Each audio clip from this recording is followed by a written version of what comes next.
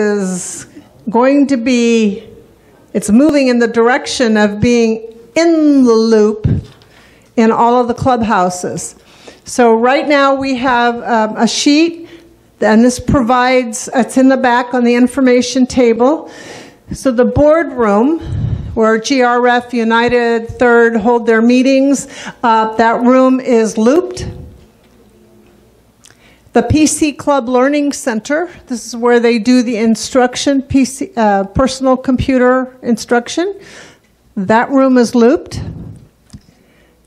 Uh, Clubhouse 2, the main ballroom and the two meeting rooms are both looped.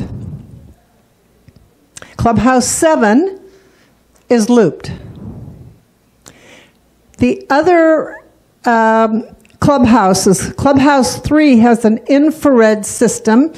So you have to check out a device, wear a headphone, or a neck loop. Um, that's true also for Clubhouse 5 and 6 uh, and Clubhouse 1. So when you use telecoil in a hearing loop, you do not need to borrow anything. You just need to know how to change the program in your hearing instrument. If there is no hearing loop, if they have assistive listening devices, you need to check it out with the management, the clubhouse supervisor. You need to give them your, your ID in exchange, and then you get your ID back when you return it. Big advantage to having telecoil and learning how to use it. So, um, we used to have meetings in Clubhouse One in the art room. And so, so we paid to have the room looped, but we didn't pay for permanent transmitter. I, I got word that they have approved to install the appropriate transmitter and connect it to the system. So very soon, the art room will be looped. And so what that means is um, when somebody is using the audio system in any of these places, you should be able to use your hearing loop. Now, there are some circumstances where it's not going to work. Let me give you an example. The PC Club had a picnic event in Clubhouse 2. Definitely has a, a wonderful hearing loop. But the karaoke DJ that was performing brought all of his own equipment, and it didn't connect with the audio equipment in Clubhouse 2. And so, no loop for that event. And that's going to happen whenever you hire in a band or whatever, and they want to use their own everything audio. So I'm going to try to see if we can't get more club presidents to talk to their entertainers, people, you know, to plug into the loop. And we're going to try to figure out a way to make it simple and easy and help people understand how to do that. But that's another day. Okay, so if you're a Laguna Woods resident, please pick up this little piece of paper because then it tells you where the accessibility is. And I'm going to call on Judy Mandel, who's one of our volunteers. She's got her hands raised up. Uh, but I want to say that if you have a question, please raise your hand and wait for the microphone to come to you. Thank you. I want to know what that is that you're wearing. What does it do? Okay. Oh, I don't really have enough time. okay, I'm going to make it, Judy, I'm going to make this very short.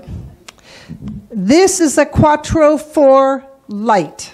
Quattro 4 Lite. I use this to pair with my cell phone. I use my telecoils to hear my cell phone calls.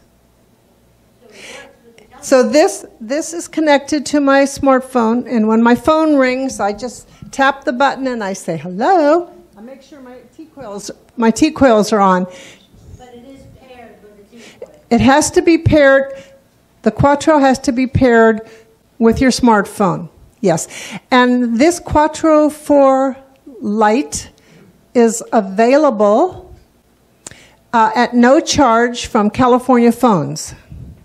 You have to have a verified hearing loss. You have to complete um, the application, their application, and um, and as, it has to be certified by your hearing provider. Uh, it could be a medical doctor, and have them sign off on it, and then you can order it or pick it up in the showroom. Um, how many people have been to the showroom in Santa Ana?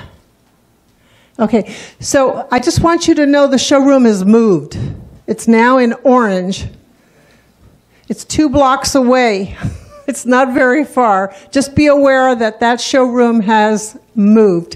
And I'm going to be getting new application forms here, and uh, it'll have the uh, address on them. Okay, so let me get my notes. All righty.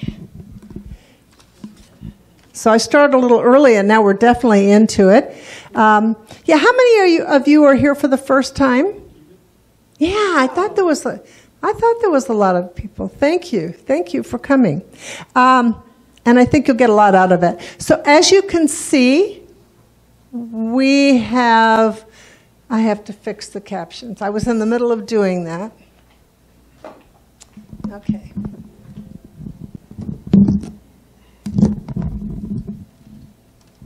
We're a little bit.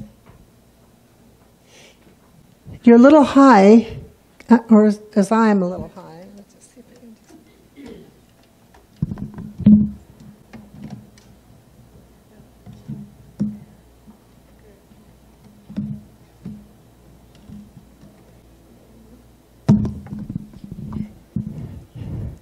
Can you could you do a full screen?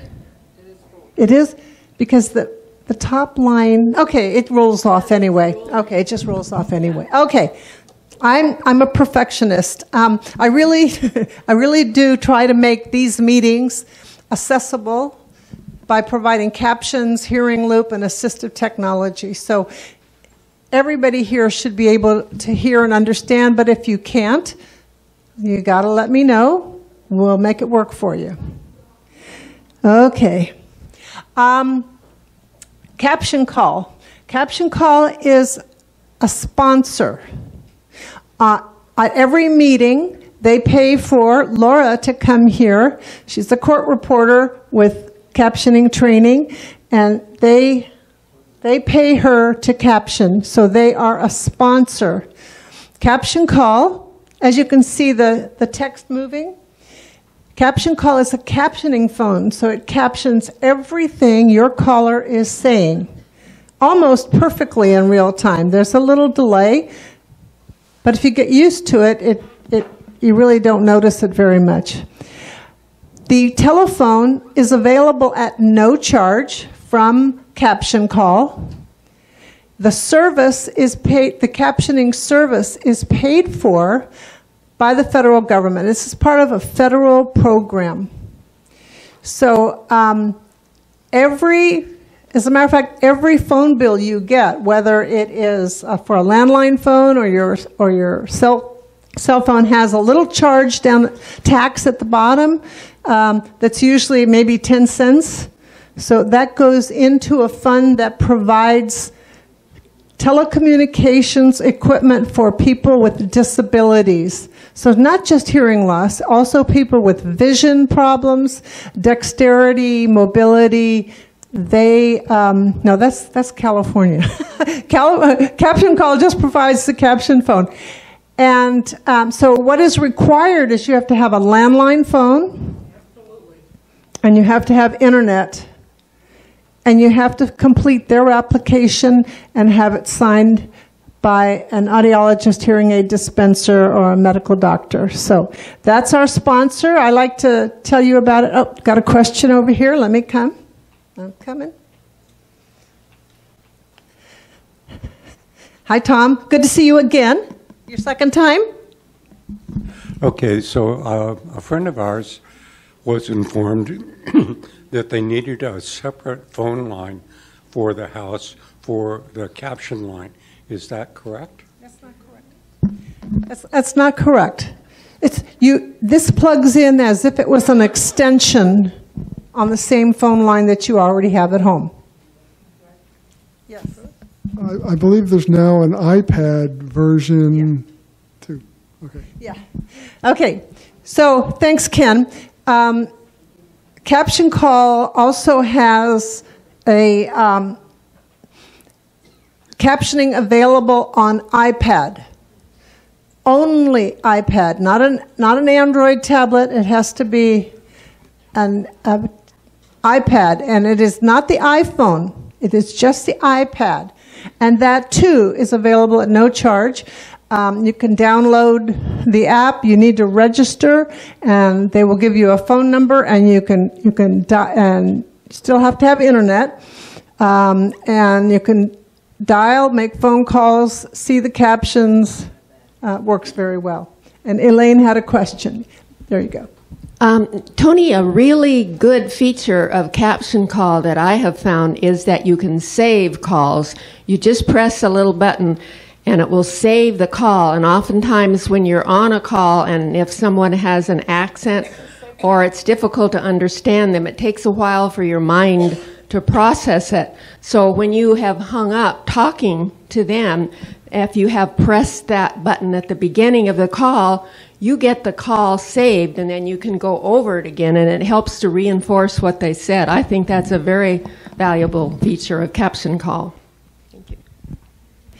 I also want to say that um, back in 2011, 12, 13, and 14, I was installing caption call phones. If I, if I installed your caption call phone back there then, and you did not get a new version, you're entitled to it. The new version includes speakerphone and a built-in answering machine. Built-in answering machine. So uh, if you, that's easy to get your messages transcribed. Okay. We had a question back here. Yes. Is it necessary to have a landline if you're going to uh, try for the iPad? You do not need a landline with the iPad. You just need Wi-Fi. Wonderful. Thank you. Wi-Fi. Thank you. Yes. Thank you. And you know, all the calls that you make on that iPad, you can call anywhere in the United States, Canada. Uh, there's no charge, so you don't have to worry about long distance. It's not connected at all to a landline phone or or a cell phone. It's totally separate. Okay. So what? Does the iPad have a separate number? Yes, you'll get a phone number. You'll get a a specific number assigned to you. Okay. Um,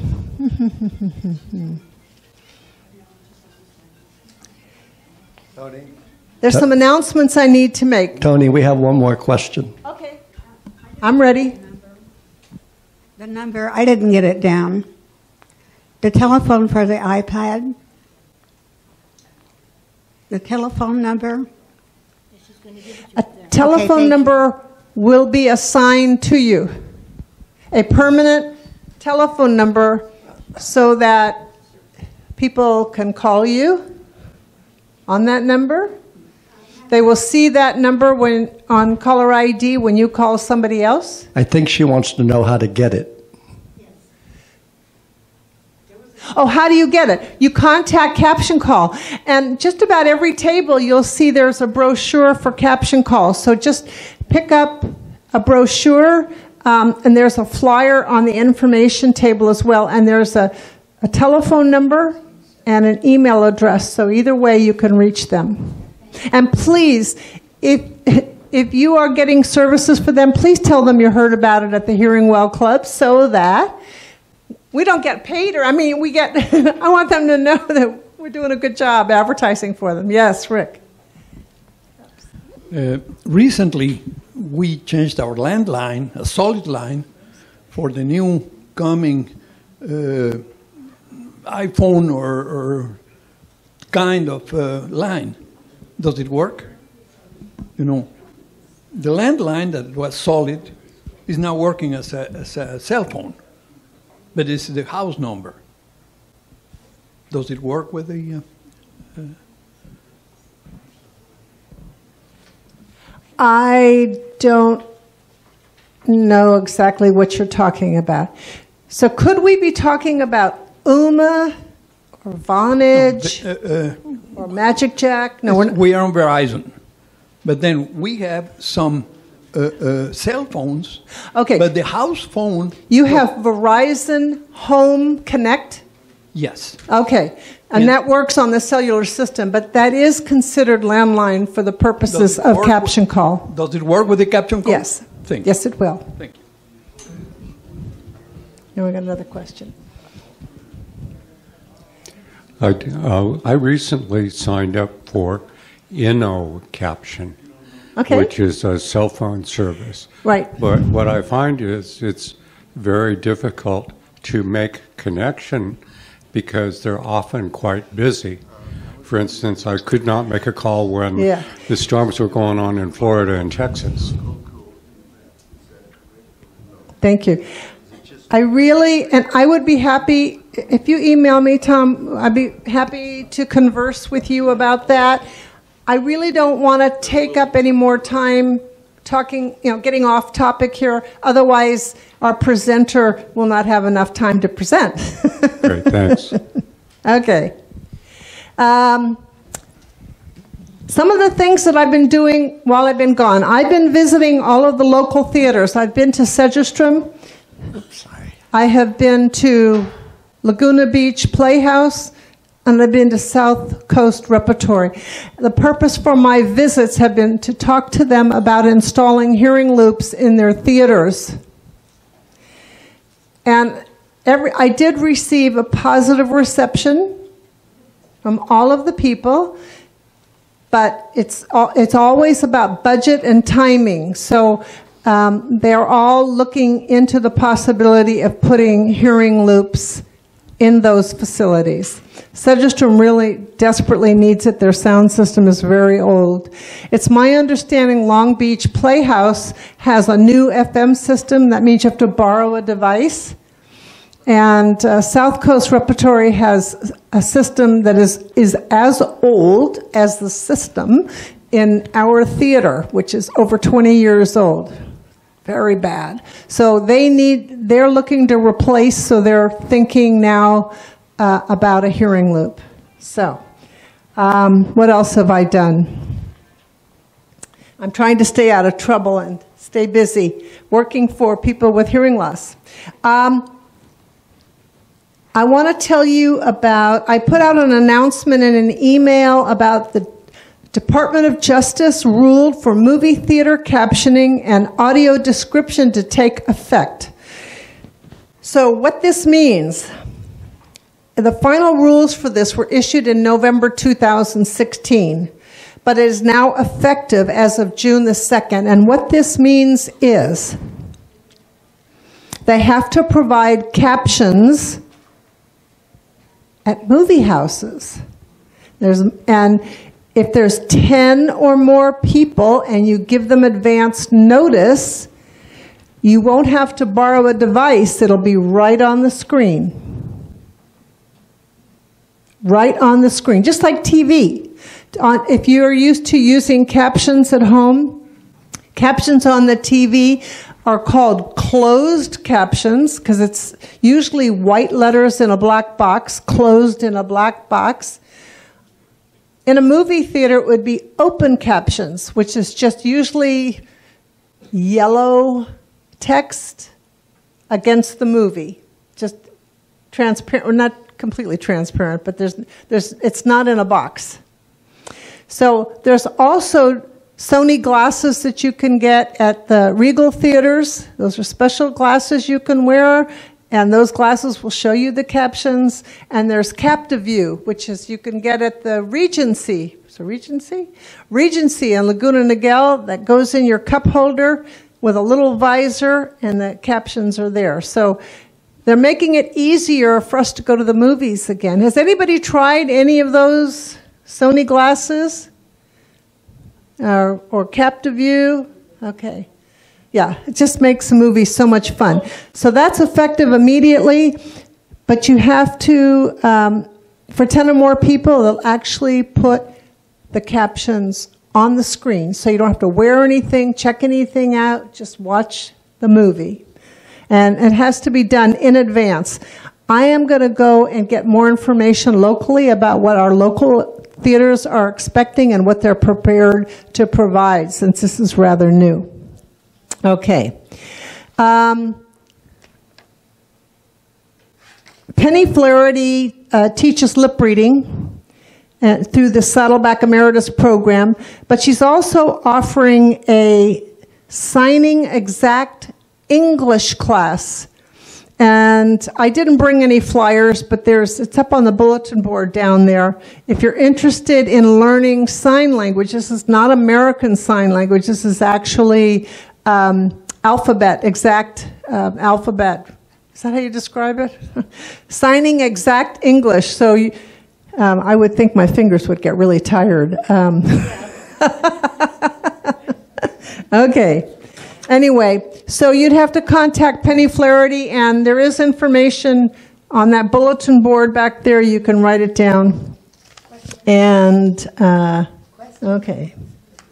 Question. I read about her.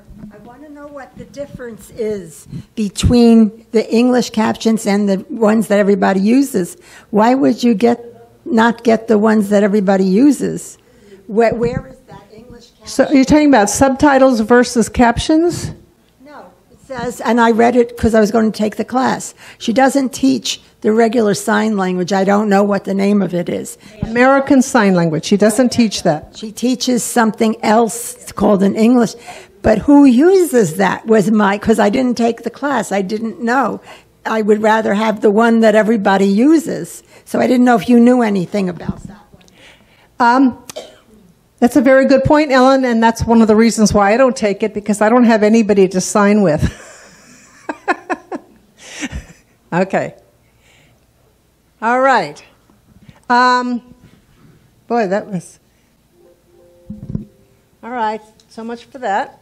Um, in the back, we have lots of information about proprietary hearing aids. There's an article here that's actually in a professional magazine, the Hearing Review, the pitfalls of locked hearing aids. So when you're going to buy hearing aids, just be aware of the pitfalls, pros and cons of uh, proprietary hearing aids. And basically, all that means is hearing aids that could only be programmed from the provider that you're getting them from or another provider that sells that exact same brand and model.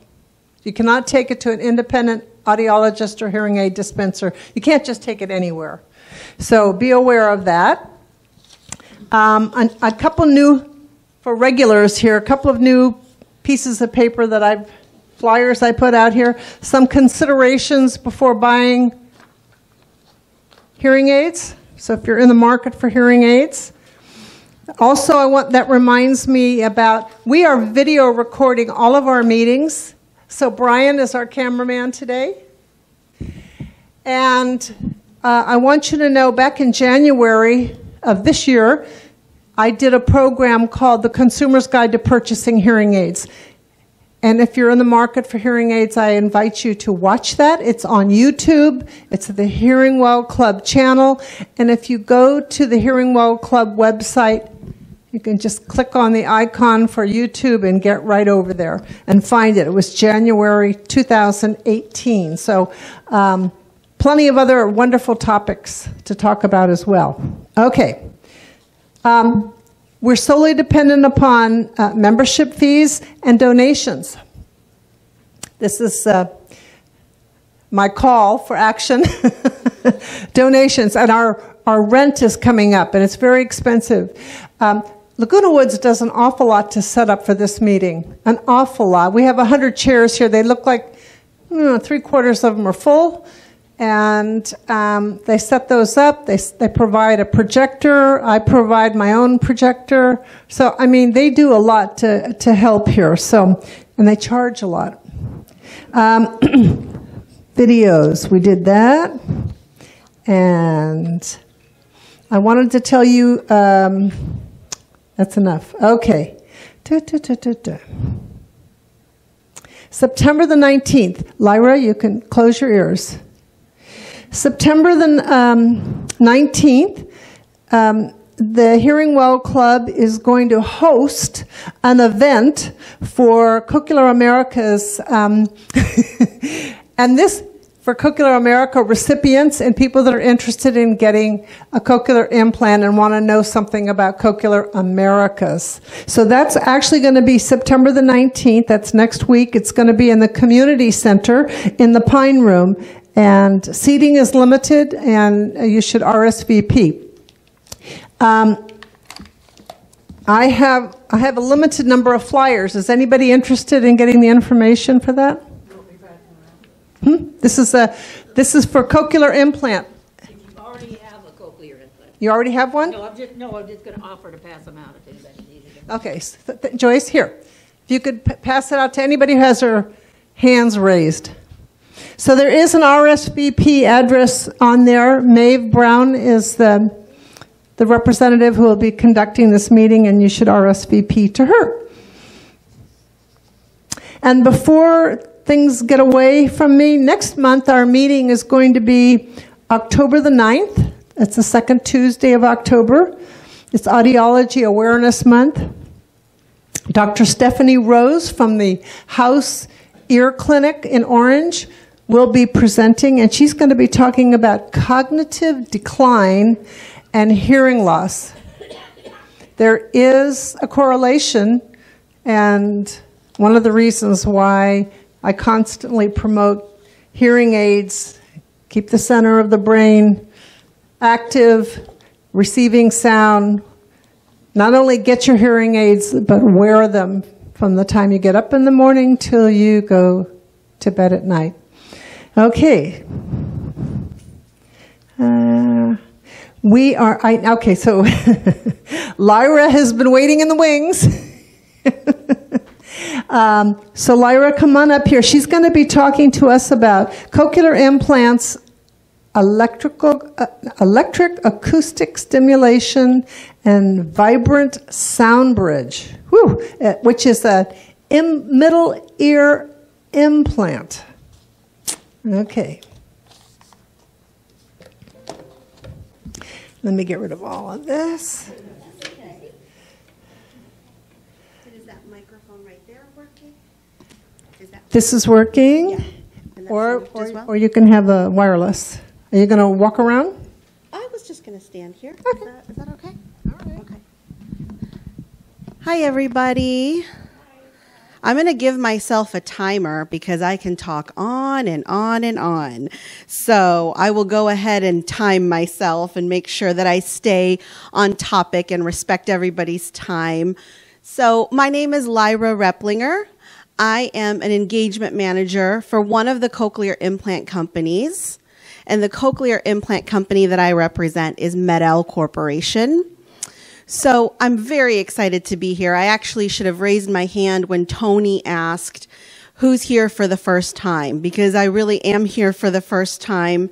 I know that she has worked to get me here before.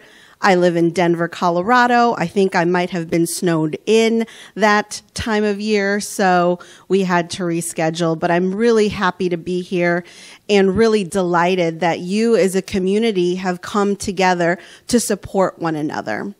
So, um, how many people here have cochlear implants? Raise your hand. Wonderful. How many people here are looking at getting a cochlear implant? Raise your hand. Okay, great. So, one of the, so there's a couple things that we're going to discuss today. I definitely want to talk about MED-EL's philosophy about cochlear implantation, the technology updates. Technology moves so fast. Some of the things that you've read even last month have changed. And so I just want you guys, everybody in the room to know what the newest technology is because since you're so active in your community and you guys help one another and support one another, it's not unlikely that somebody would come up to you and say, so what's the newest in cochlear implant technology or hearing aid technology? And I want you to have that information. And lastly, I want to talk about living with a cochlear implant or living with hearing loss because whether or not you have a device or a hearing aid, there are things that you can do to continue to make your hearing experience better. And so I definitely want to end with something that everyone can take away a little bit of knowledge. So, as far as MED-EL goes, this is a picture of all the engagement managers across the United States. Um, I really work with some beautiful women, young, beautiful women, um, and um, they are so knowledgeable in this arena, not because they've been trained. Uh, about cochlear implant technology, but because every single one of these ladies have a background in deaf and hard of hearing education, speech pathology, and audiology. That means we're looking at the whole picture when we're talking about hearing loss and hearing experience. So, this is me right here. I cover the West region. I live in Denver, Colorado, and I cover from Alaska to Hawaii. Yes. And every time I say Hawaii, everyone's like, ooh. First of all, it's a really, really long flight. Secondly, I look Hawaiian, so I don't get any special treatment. So, you know, it's good and it's bad.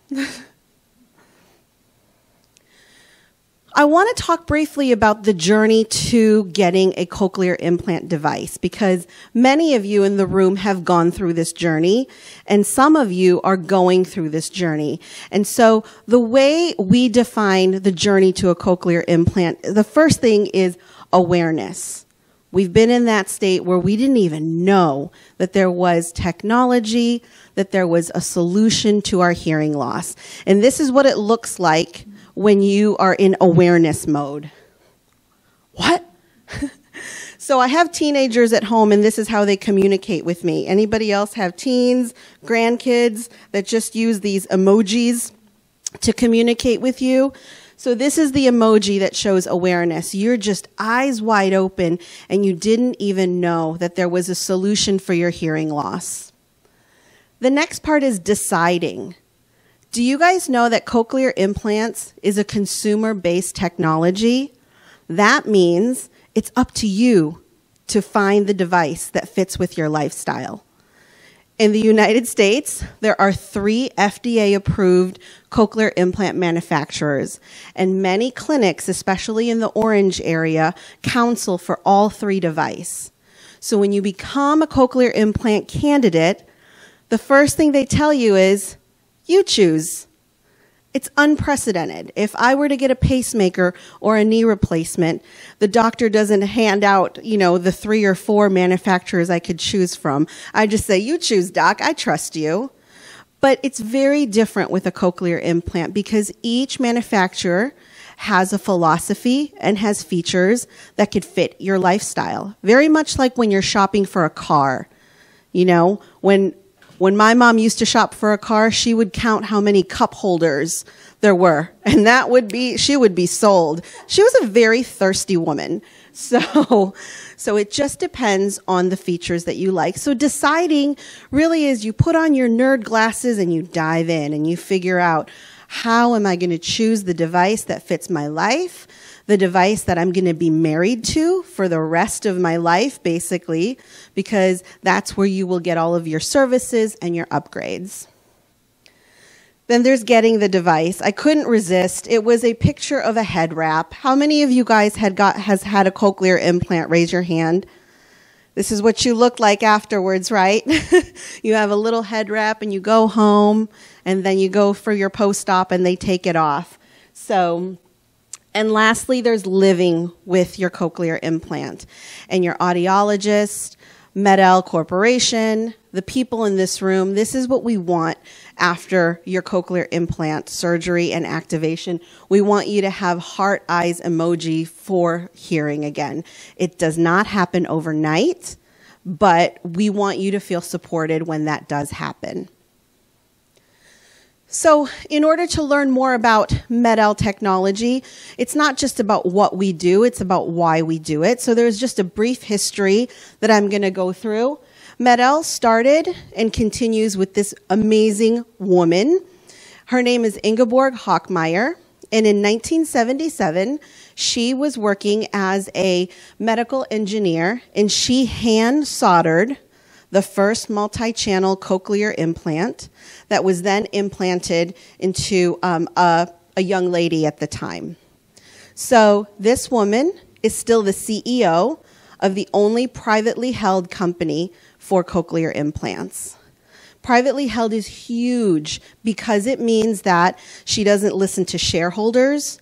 She doesn't listen to anybody else saying, hey, let's come out with the 2018 model. Let's come out with the 2019 model. She really thinks about the end user and making changes to what makes sense to the recipients. And so it's something that we've seen quite often in, in the philosophy of MED-EL.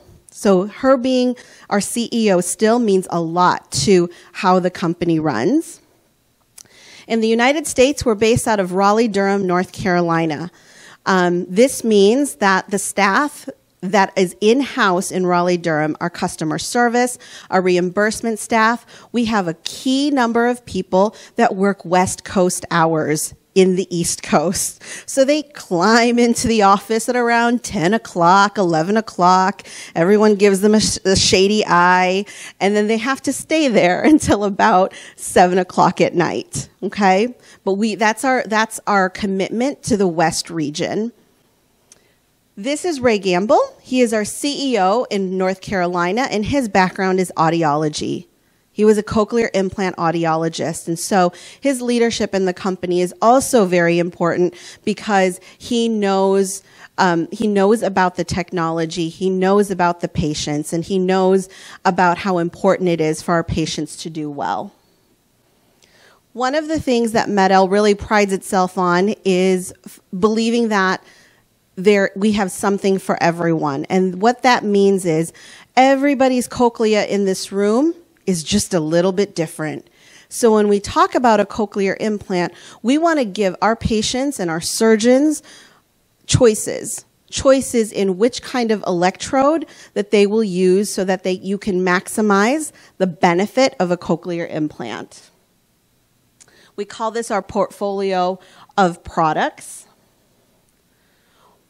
You guys know what this looks like, right? This is a cochlear implant no matter what manufacturer there exists in the United States and around the world, the cochlear implant really has two components. The internal piece that the surgeon surgically um, places into the cochlea, and then you heal for a month or so. And then there's the external piece. That's the part that looks like a bigger hearing aid. So no matter what company you choose, you're going to have those two options. Okay? On this side, what does this look like? Looks a little bit like a hearing aid, but then it's also got this cochlear implant tech component to it. That's what we call the EAS system, electro acoustic system. When we say electro, that is the implant part because the implant gives you electrical stimulation to hear sound. Acoustic is the way you're hearing right now. So you combine the two and you get a little bit of implant and a little bit of hearing aid technology. What does this mean? This means that you people in this room could be a candidate for this device because you do not have to be profoundly deaf in order to take advantage of this device. Sometimes there are people who are sitting in this critical window where they're not deaf enough to get a cochlear implant, but man, they're really struggling with their hearing aids. And they've been fitted for hearing aid after hearing aid, and there's just some things that they don't have access to. This could be a solution for you. And the surgeons and the clinics in the orange area are able to counsel for an electric acoustic system. Okay? This is the inside of a cochlea. And do you see all of those little lines? Those are your hair cells. And depending on your hearing loss, you could have hair cells that are not functioning at all, or you could have hair cells that are still able to pick up some sounds and transmit it to the auditory nerve and then send it to the brain. At the end of the day, We hear with our brain. So, preserving those hair cells and preserving that structure is really, really important to MED-EL. The cochlea at full size, we are, we're born with full size cochleas. I think that's absolutely amazing. The cochlea is the size of a baby aspirin. And inside that baby aspirin are two and a half turns that look like that. And that is where your electrode array has to go through in order to give you sound. So preserving that structure is really important for the young, but it's also important for the young at heart. Because again, for many of you that are here and that are possible cochlear implant candidates, you may have heard sound before. You may have had better access to sound. So MED-EL wants to be very, very um, gentle and soft when we talk about um, putting um, an electrode array inside the cochlea. So how do we do this? Because you're going to stick something in there. It's probably going to be, um, it's probably not going to be great, right? So how do we ensure this? One of the ways we ensure this is through the design of our electrode array. So what you have before you is at the very tip of the actual implant itself. There are 12 contact points, and you see how it goes from, oh, let me see if I can get this lots of wires to just a little bit. That means that the electrode array goes from like fat all the way down to skinny. Okay, so at the entrance point, you have a smaller part of the electrode. And so once it starts to get inserted, it will be, it will be at the smallest point. Okay? Those contact points right here, those contact points are the things that are the items that actually give electrical impulses so that you can perceive sound when the cochlear implant is activated. We call that flex tip technology.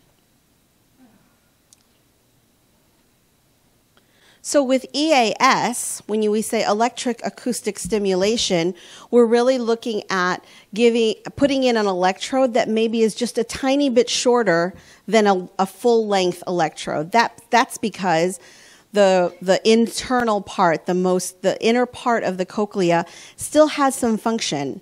And so we don't want to damage that. We don't want to touch that piece.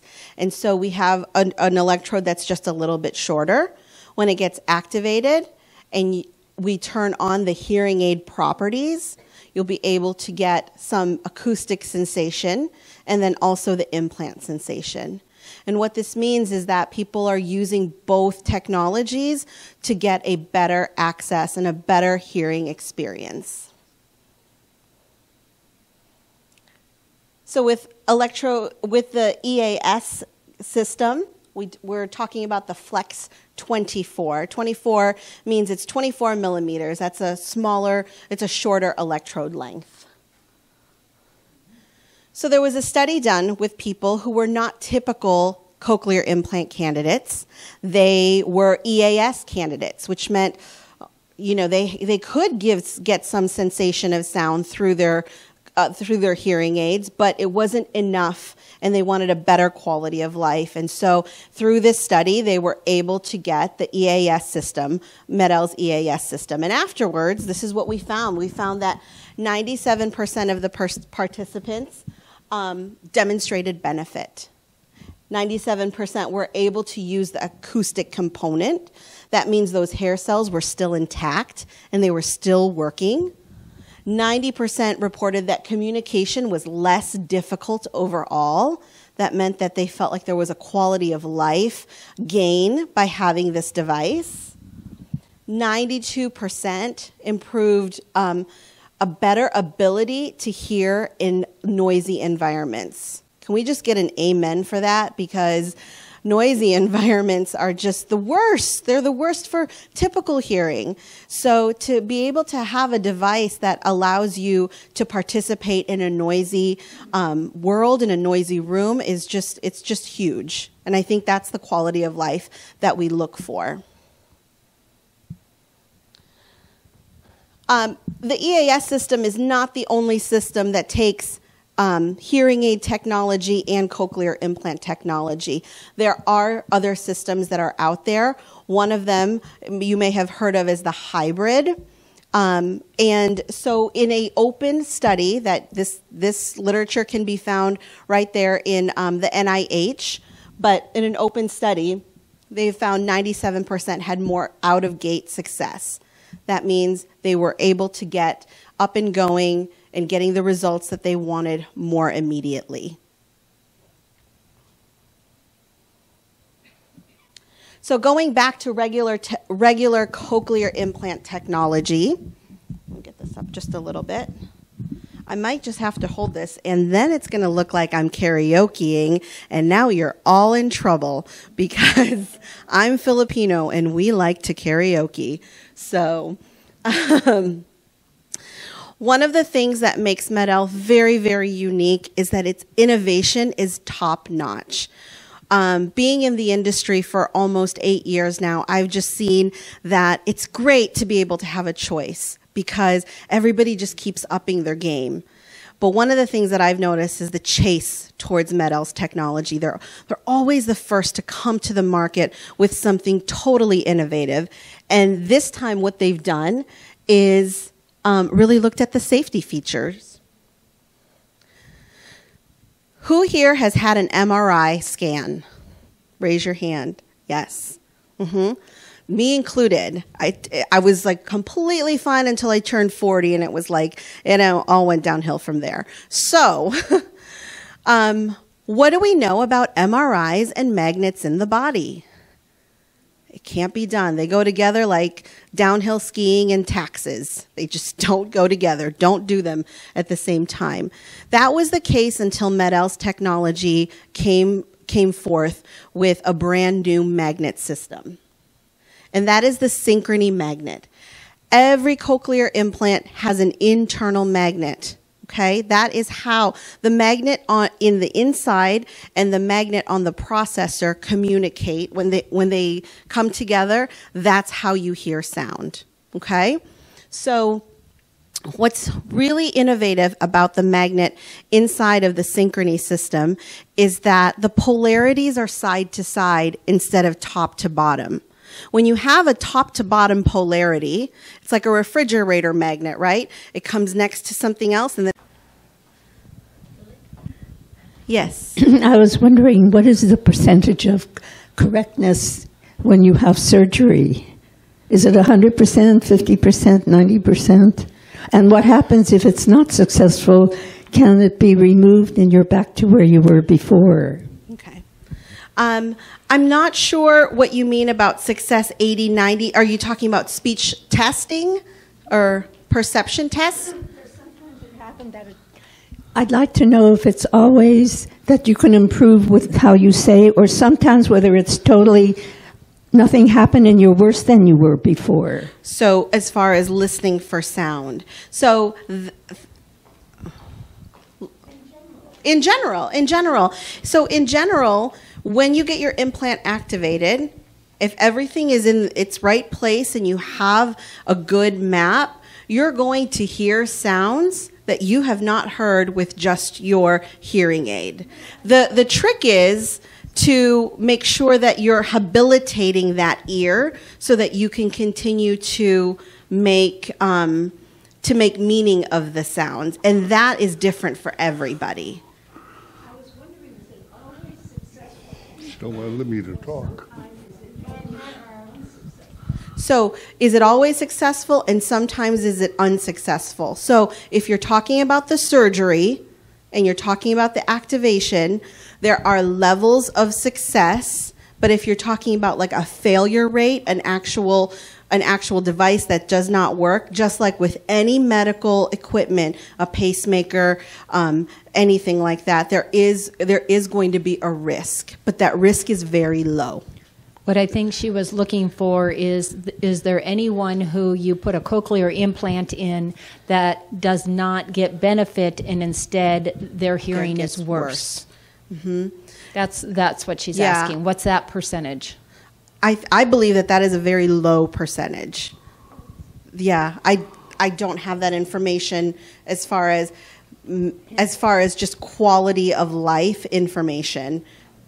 I think the other thing is that there's testing that is done to the auditory nerve about Mm-hmm. how receptive it is to sound that they do before you become a candidate for the amplification. Correct. So they can give you an idea of the amount of success that you should be experiencing. But you're right, it's different from person to person.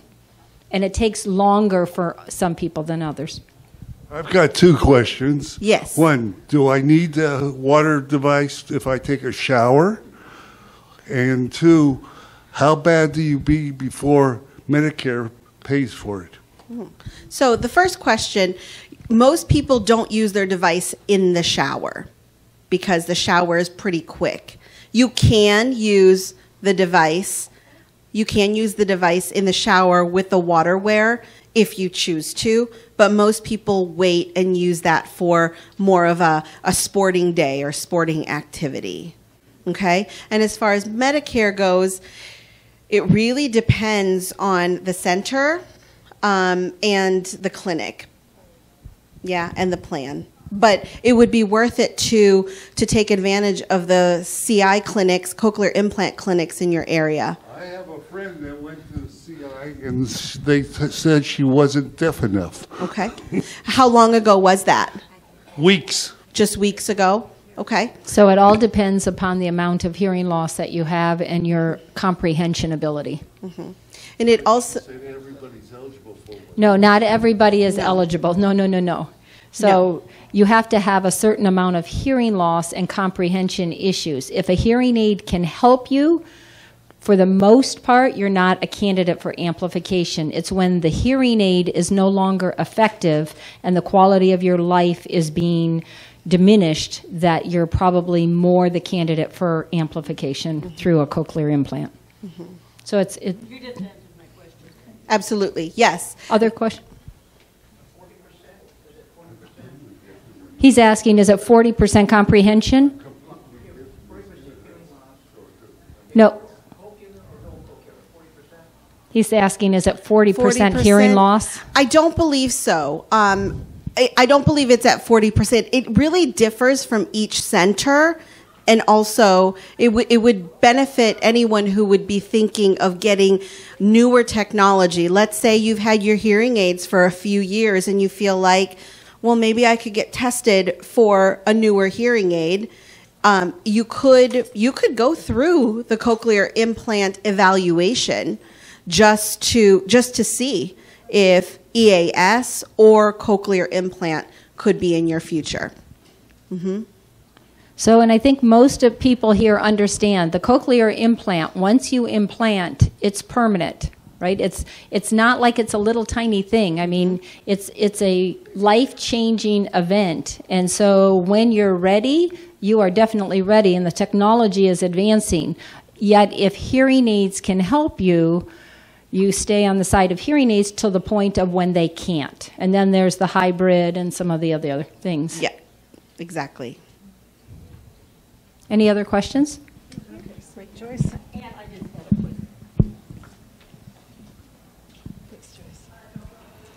Oh, I was just going to, I have a, a copy of my latest audiology, my audiogram here.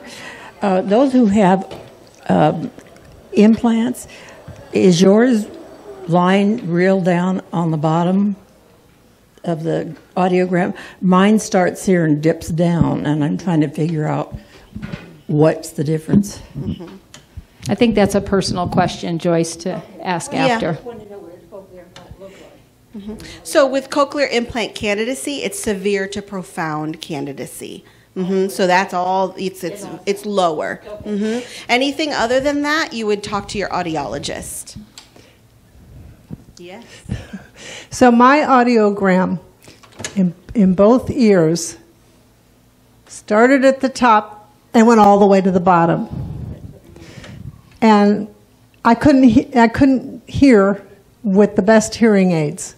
Couldn't comprehend. So in 2011, I had a, a MED-EL cochlear implant. And so there's two pieces. There's the implant, which is under the skin, buried down in there. That's permanent. And then there's the outer processor piece. So this is what collects the sound, and I'm going to put this very simply. The sound travels in this little wire and goes through the magnet that's on the outside to the magnet on the inside and down the cochlea, and then, and it, it happens so quickly. There's no loss of timing. I mean, it, it sounds slow, you know, just goes in here and it goes around there and it does that, but it happens split second, split second. So Exactly. so when I go when I take a shower, I take my processor off, mm-hmm. and the inside is not bothered. You have one implant? I have one implant, mm-hmm. and I have I have a hearing aid on the other side that helps give me a little balance. I do qualify for a cochlear implant on my other side. I'm just not there yet. Tell them why you're not there yet, Tony, because when you take it off, you have no. When at night, when I take off my processor and my hearing aid, deaf. Deaf. My dog likes to bark and jump on my bed. I don't hear her barking. If she hears a coyote or a cat or something outside, and she's just yapping her fool head off, I don't hear it. And she could be just one foot away from me. That's how deaf I am. So, yes, Lynn. Money wise, how long is it good for? Do you have to uh, pay more money after a period of years to replace parts? That's a it's a really interesting question because I just got an email, I mean, a snail mail from MED-EL. um, really, the internal part is like forever until maybe you have an accident or you injure, injure yourself in that area or whatever. The processor, at some point, you may want to get a new one with new features or whatever, but it's always going to be backwards compatible. So, so your internal piece, as long as it's healthy and undamaged, lasts you a lifetime. But the processor loses power? Well, I'm just saying, The insurance company pays for it all. Just like anything electronic, eventually they will go bad. You know, they get they're exposed to moisture and heat and all kinds of things, so they might wear out. I've had this processor for quite some time now, so eight years. Well, when when did it come out? Uh, about four years. Four years. Four okay. years. Mm-hmm. So yeah. So, and it's perfectly good. You take care of it.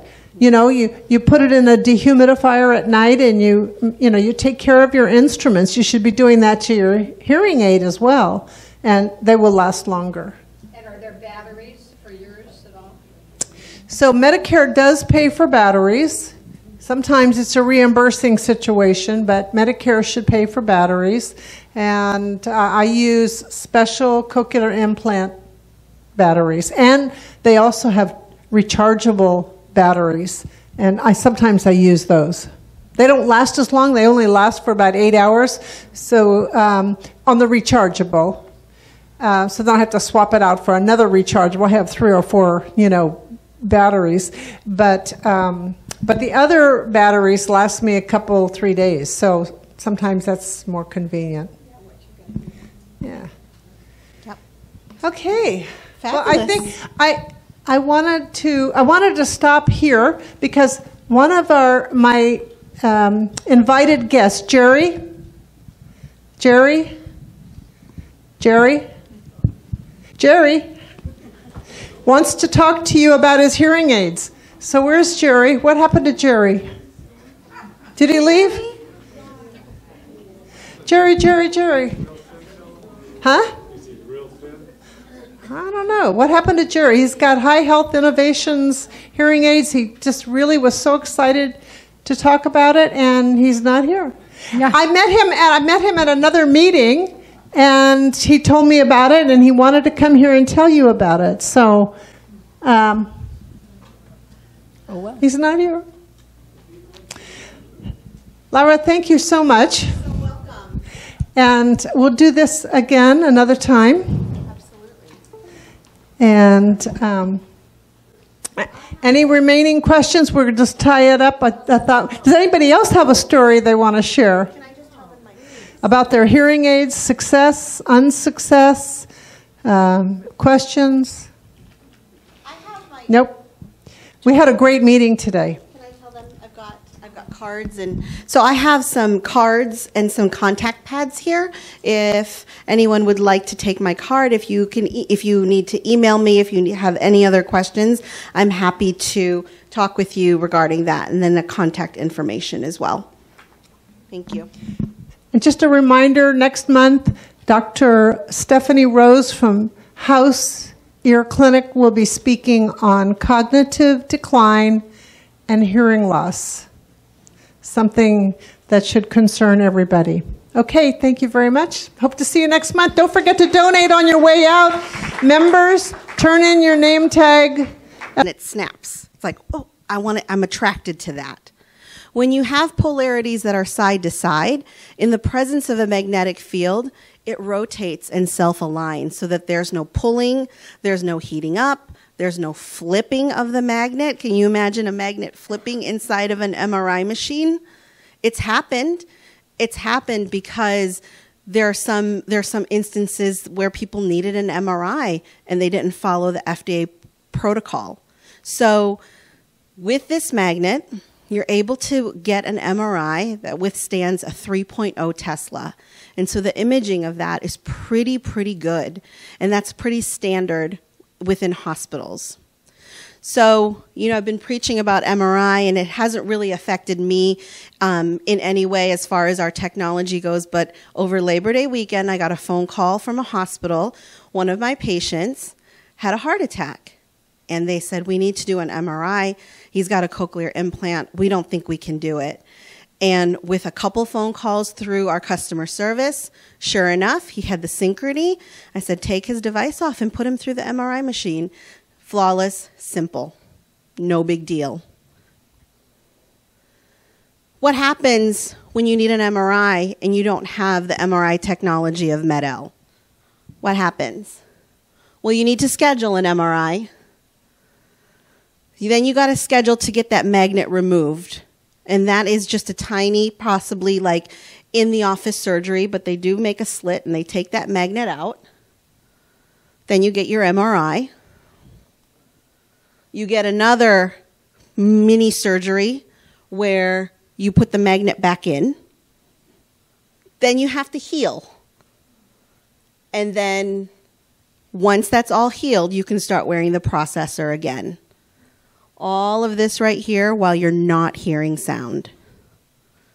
So with MED-EL, you plan your MRI and you get your MRI. That's it. And so this is something that has been a really a really big deciding factor for people who want to have sound access but don't want to forfeit any other types of scans or medical diagnostics. So no surgery removal needed, no discomfort, no hearing downtime for 3.0 Tesla. We have a saying at MED-EL where we say, you get the whole piano. And um, it definitely begs to be explained because um, when we talk about the piano, we're talking about the cochlea and the way the cochlea is designed. So again, here's a here's a more colorful picture of the cochlea. And if you can imagine that this part of the cochlea is responsible for high frequency sounds. Okay, so you have hair cells here that are responsible for high frequency sounds. In a normal hearing ear, these are the first hair cells to go. That's why it's harder for us to hear high frequencies. That's why it's harder for us to hear whispers. That's why it's harder for us to hear and understand little kids because of this high frequency sound. And then as you go towards the apex of the cochlea, it becomes more speech sounds all the way to these low frequency sounds. So if you were to unroll this cochlea, it would be a lot like a piano where you have your low frequencies and your high frequencies and everything in between. With MED-EL's technology and MED-EL's electrode, we have the longest electrode array. That means we can cover the entire length of the cochlea and all of those little electrode contacts can go ahead and give stimulation in the area where your cochlea and your brain is ready to receive it. So, It's not just about hearing and getting access to sound. It's trying to mimic the most natural sound access possible. And that's the philosophy of MED-EL. Okay. I love this slide because, you know, I've traveled to other places where I talk about WaterWear, waterproofing your device and swimming, and they're looking at me like, we don't need that. Denver, Colorado could care less about waterproofing their device. But you guys live here in beautiful California, so close to the beach that I have to, I mean, I'm, I have to make sure that I'm driving, you know, right by the beach just so that I can make, make sure my social media says I was in California. So this is something that MED-EL takes very seriously, again, for the end user to allow you to experience hearing in all environments.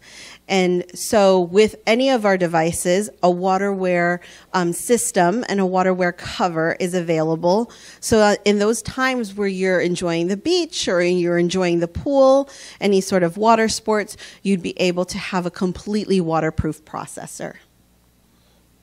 And that's what that looks like. This picture was probably taken here in your backyard.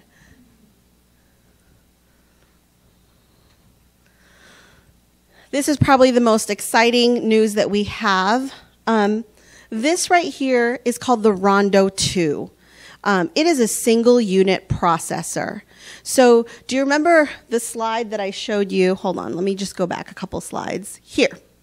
This right here, every single cochlear implant processor is going to have a magnet, a processor, and a battery. So, if you morph all of that into one, this Rondo, the first iteration of it that was created five years ago, is a processor, a magnet, and batteries. So it's a wearing option. It's, it, it sits right at the magnet site, and you have nothing on your ear. So for people who wear glasses, for people who just don't really want to have anything on their ear, many of you have used hearing aids maybe for many years or all of your life. But there are some people who go deaf overnight. And so they don't have that ability to acclimate to something behind their ear. This has been something that they've really liked and they've really appreciated.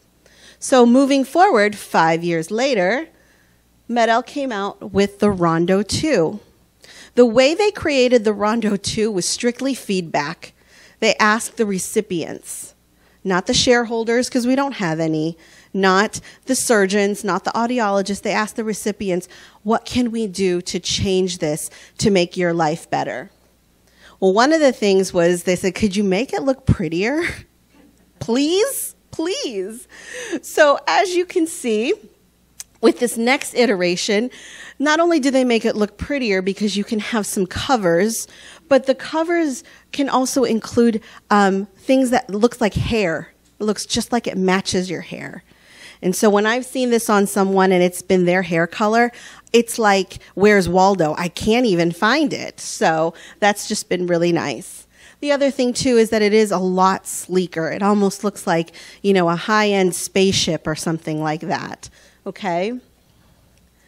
One of the things they said was, you know, it's really hard to open and close batteries.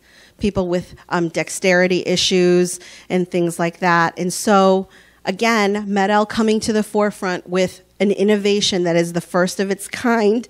This has no batteries. It's an integrated battery that sits on a charging dock and carries 18 hours of use. So every night you put it on the charging dock and then you wear it during the day. A WaterWear um, waterproofing system will also be available with it. And so it's very exciting to, to bring forth this kind of innovation um, for the end user in mind. And this is a current promotion that we have right now. How many of you have ever purchased something like an iPhone or something or a television only to find out that the following month a new system is that an Apple Watch, sir? He's holding up his Apple Watch. Only to find out that the next month there was a new system. And you're like, oh darn, I would have waited had I known. So when Med-El announced that the Rondo 2 was FDA approved, but it wasn't ready for the market yet, many people started thinking, I'll just wait. I'll just wait five more months. I'll just wait six more months. Med-El believes if you need access to sound, you get it and you get it now, and we'll take care of the rest. And so for right now, the promotion we have is anyone who chooses Med-El automatically gets a free Rondo 2 processor. That way, there won't be any regrets about choosing something too soon or, you know, too soon for the market. Okay? wireless connectivity. I love everything that Tony says about wireless connectivity and just assistive listening device. Um, I have such an appreciation for the passion that she has to make sure that you understand how to access better sound in your environment. And for Med-El, the technology is fantastic. I have seen people, you know, answer the phone just by picking it up. Uh, I've seen people, um, you know, function without a lot of wireless connectivity, but in times when they need it, it's definitely something that they take advantage of. And so for our system, we have an open platform. Um, and that means that you're not locked in to only using a certain kind of um, neck loop, a certain kind of FM system, a certain kind of hearing aid. Digital wire. Digital, digital wireless streaming, Bluetooth connectivity, and state of the art telecoil can all happen with something like the Roger Pen or the phone, uh, the Oticon systems, Comfort Audio, ClearSounds. So it's an open system. But in our activation kits, we provide the Roger Pen system. Is anyone here familiar with the Roger Pen system? I know Tony is. She's she's a pro. So First of all, the Roger pen is actually not a pen. You cannot write with it. When I was looking, I was packing for one of my trips and I said, kept on saying out loud, I can't find my Roger pen. And my kids say, you give your pens names now? So, no, I'm not that crazy yet. Um, so, but what, the reason why they call it a pen is that it is discreet, like it's a pen that you can stick in your pocket. But this allows you to combat the, the difficult environments to listen in. And, and in my line of work, I've found that there are three difficult environments large crowds, like restaurants, right? The phone. It's so hard for me to hear on the phone. And television. So hard for me to hear the television. With the Roger system, you can use you can use this to combat all three of those. In a large crowd, this pen right here, oops. Let me go back one. This pen right here is like a it's a microphone. You can put it in some sort of like interview mode where you point it at the person that is talking and when the microphone adjusts, you will hear them through your device as if they were standing right next to you. Okay? Um, as a transmitter, as a transmitter, you're able to pair this with your cell phone, and then your phone calls will go directly to your device. And then there's also a TV stand where you can pair it with your television. You can connect it to your television, sit and watch TV, and maybe you would be the only one that could hear the television, and because it, it will go straight to your device as well. And the way it goes straight to your device with the Med-El system is this battery sleeve. This battery sleeve actually has an integrated receiver right there. So it's nice and discreet, and you just wear the battery sleeve when you are using the, the Roger Pen device. So this comes in your activation kit. No questions asked. It's like we know that you would want, once you get up and going with your cochlear implant, you want to experience um, the phone and things like that. You're able to use that as well.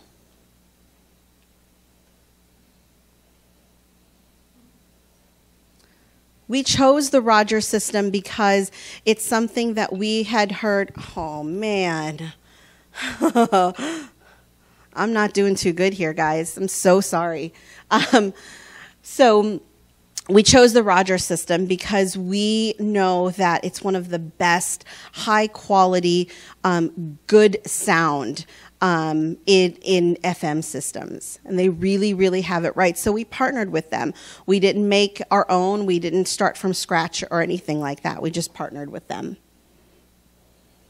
And lastly, when you are looking at a cochlear implant device, you know, I talked earlier about being married to that company. It really is like being married to that company. Whatever internal device you have, the upgrades that are going to be coming in the future, 10 years from now, 20 years from now, um, will be that company's device. And so with MED-EL, the backwards compatibility has been huge. We've had people who were implanted 20 years ago in our clinical studies, and they have been able to upgrade to the newest technology. No extra surgery needed, nothing. They're able to just say, oh, there's a new device out, now I can wear it. Their compatibility is spotless.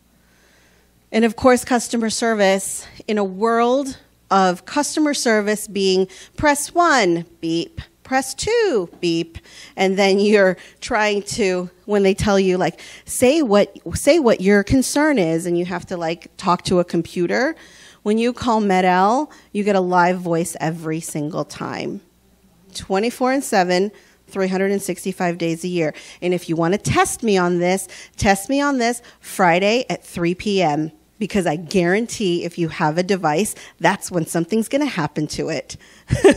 right? It happens each and every time. And so these are the supports that are in place. How am I doing, Tony? I know it's 3 o'clock and. Doing just fine. Okay. I would like to run through just a few slides on listening therapy. I think this is something that everybody can benefit from, if that's okay. And then I will, you know, sing you a lullaby or something like that, because I've got the microphone already. So, part of my role being a deaf educator um, in my past is to really let people know that no matter what device you have, if you have a hearing aid, if you have a cochlear implant, just getting that technology is the first step to a very long journey. There are still things that you can do that will help you be a better listener and a better user of your device. And that's called auditory training. Okay?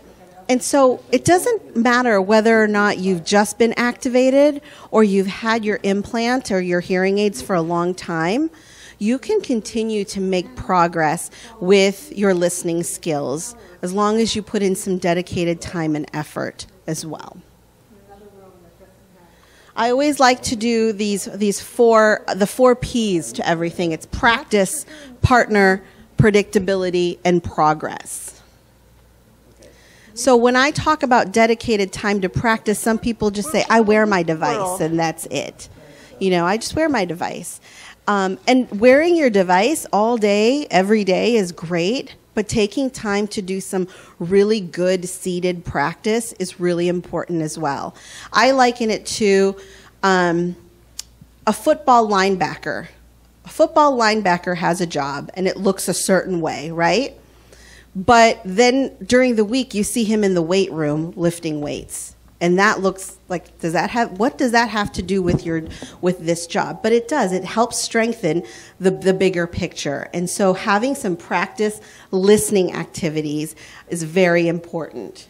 So it's not just going up to someone and say, "Well, what did you hear?"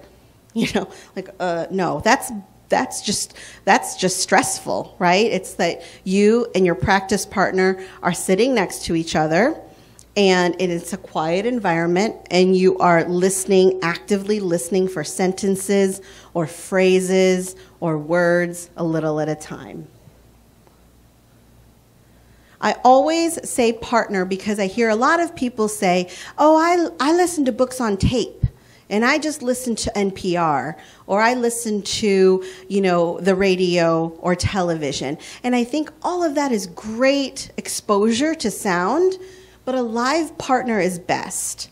And the reason why is you want to have an increased appreciation for listening with people in large crowds or even in small dinner parties. You want to make sure that you're listening for live speech as best as possible. You're also able to control the volume and the rate that they're going. You can tell them to, can you speak up a little bit? Or can you slow down a little bit? And you cannot necessarily do that when you're listening to a book on tape without having it sound a little bit distorted the familiar voice is best because when we get a cochlear implant or when we get a hearing aid, we want to be able to hear our loved ones better, whether it's our grandkids or our kids or our husbands and wives. So, predictability is a big thing. When you are sitting with your partner and you're about to practice, instead of just saying, I'm going to say something and then you tell me what you hear, that's really difficult. So, it's too much to choose from when we just start talking and then we have to figure out what it is that we heard. You have to give choices, making answers predictable so that it builds confidence. So here is some samples of predictable listening. Names of people in your family, colors of the rainbow, common streets in your town. If you have someone that's an avid golfer, maybe do golf, golfer phrases, um, baseball phrases, things like that. Okay? I really like um, things your waitress may say to you because we get so stressed out when we are in a restaurant and we get so used to having someone order for us or answer for us if with just a little practice you know, really trying to key in okay. on what a waitress may say to you in the beginning of your meal, at the middle of your meal, and at really the end sure of your meal. What it is you So these are just some activities that I've done with oh, larger perfect, groups. Wonderful. Okay, gotta go. Oh, she's coming through our she's coming through our system. and then of course there's progress.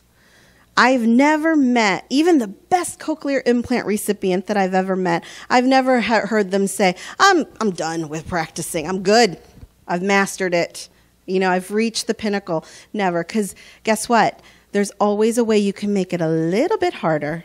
If you've mastered it in live voice, maybe you can go to a Starbucks and try that same activity with just a little bit of noise. How do you do when the cappuccino maker is on? Do you have to bust out all of your um, Roger Pen device, or can your brain overcome those sounds? And can, through contextual cues, can you understand those things as well? Okay? Um, increasing the amount of information. If someone can easily understand a sentence, maybe you can move to paragraphs. Okay? changing the speaker from someone that's familiar to someone that's not so familiar. And then my go to is if you're doing really great in all of these settings, let's do this activity over the phone. Let me give you a call and let's see how much you understand over the phone.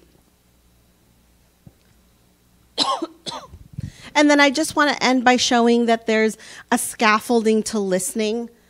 Okay? And and I think no matter where you are, you can you can use this scaffolding, whether or not you want to make it easy, make something easier or make things harder.